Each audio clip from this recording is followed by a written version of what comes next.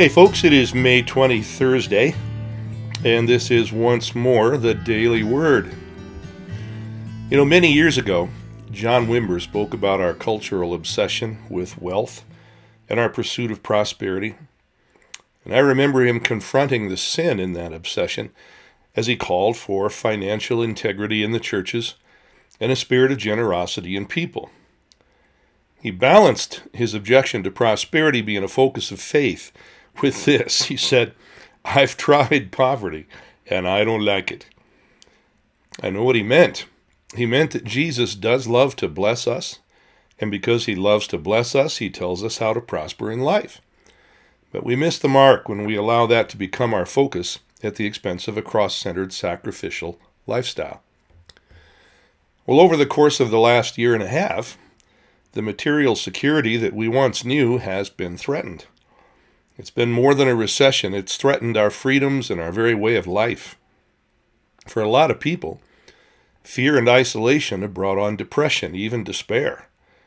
But Jesus taught us a remedy for the depression that can take hold when times are uncertain and economics seem threatened. Matthew chapter 6, start at verse 19. Jesus said, Do not store up for yourselves treasures on earth, where moth and rust destroy and where thieves break in and steal. Well, it seems that moths have broken in and stolen.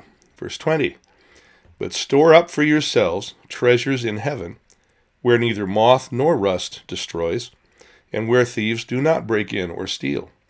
For where your treasure is, there your heart will be also. well, what is the real treasure? And what's the benefit to you? Well, Jesus was excuse me, Jesus was always about love and by that he meant covenant. He meant deep, sacrificial, committed connections between people. He called it treasure in heaven, but as you read on, you find out that he wasn't just speaking about heaven. I mean, put it in its context.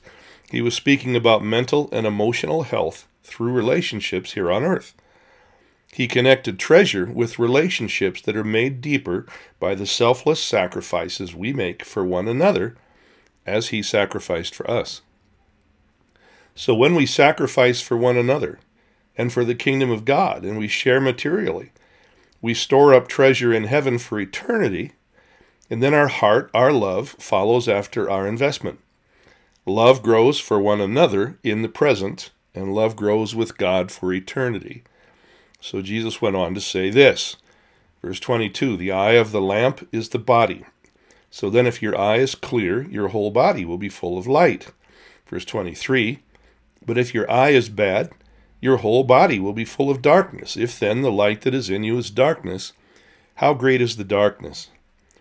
Well, this has nothing to do with metaphysics, as some people are tempted to think. Jesus used a figure of speech that every Jew in his day would have understood. It was said that a generous man had a good eye, while a stingy man had a bad eye. Generosity feeds the soul. Self centeredness is a straight line to darkness and depression. Jesus was concerned for more than just happiness in heaven for eternity. He wanted to see us blessed now in this, li- in this life. So he said that a generous person will be full of light inwardly.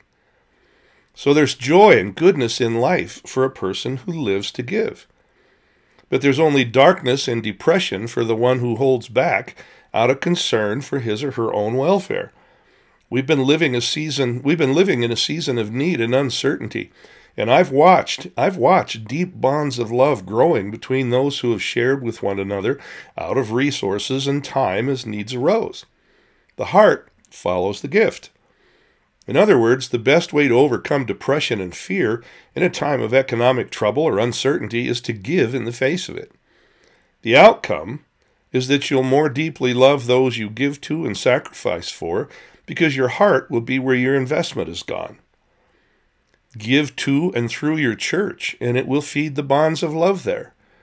It'll anchor your heart and spirit to heaven, and it'll anchor your heart to your brothers and sisters in the Lord.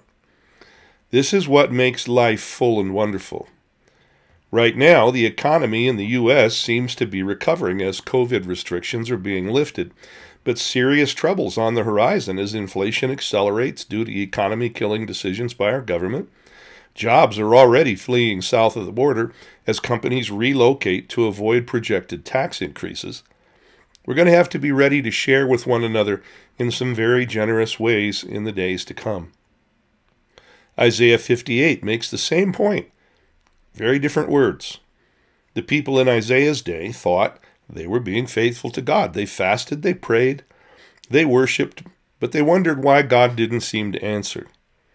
Why did their economy remain stagnant? And why did their faith seem to be dry and lifeless?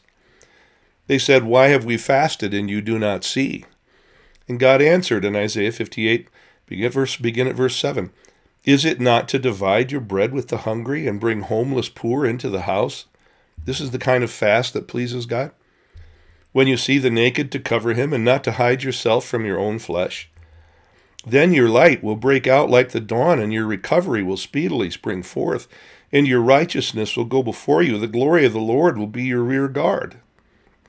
Well, God's economy works on investment, but it's investment sacrificially in the lives of others and for the sake of the kingdom of God. Notice it's not give from your surplus, it's divide whatever you have. If I think there's only enough for me, then I need to invest by dividing the little I have with those who need. And God responds to that in verse 9. Then you will call, and the Lord will answer. You will cry, and he will say, Here I am. There's also a generosity of heart involved. He said, If you remove, this is just read on, if you remove the yoke from your midst, the pointing of the finger, and speaking wickedness, generosity of heart.